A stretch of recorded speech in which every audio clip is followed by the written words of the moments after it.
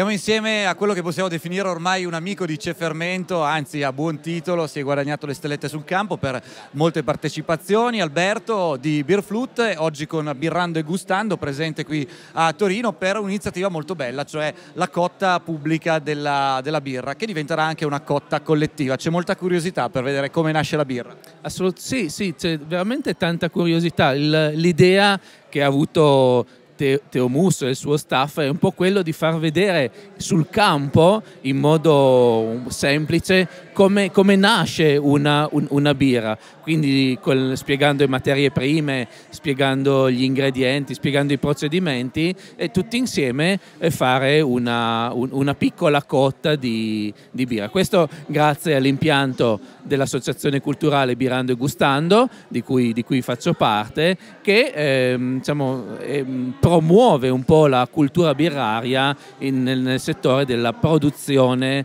della, del, della birra. Il, il, momento clou di, questa, di questo piccolo evento inserito nel Baladen Fest è un po' quando ci sarà da mettere il luppolo e chiederemo l'aiuto ai, ai birai presenti, ognuno di eh, buttare una, una manciata di luppolo può simbolizzare tutto il, il movimento birario italiano che è fatto di tante eh, personalità che hanno portato a questo bellissimo direi, evento assolutamente inedito per, per Torino.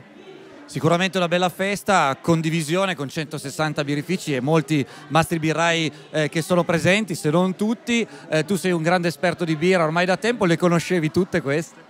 No, no, è, infatti dicevo è fisicamente impossibile in due giorni assaggiarle tutte, cioè proprio abbiamo fatto un calcolo a tavolino, no, no, no non ci si riesce proprio. Devo dire che le qualità la qualità media della birra italiana è veramente altissima. Eh, ci sono birre strepitose, ehm, ci sono dei birrai eh, assolutamente disponibili, può a presentarle, a promuovere il, il prodotto. Eh, questi 18 anni veramente eh, è stato un salto epocale in un periodo veramente breve, cioè in Italia si è fatto in 18 anni quello che in, negli altri all'estero eh, si è fatto in 20, 30, 40 anni di, di, di birra artigianale. Bene, direi molto positivo, quindi c'è da festeggiare, allora buon lavoro e buon festeggiamento Alberto. Grazie, grazie soprattutto a, a Baladen che ha dato l'opportunità eh, a tanti di farsi una bellissima vetrina e a proporre al pubblico torinese un evento direi unico. Grazie.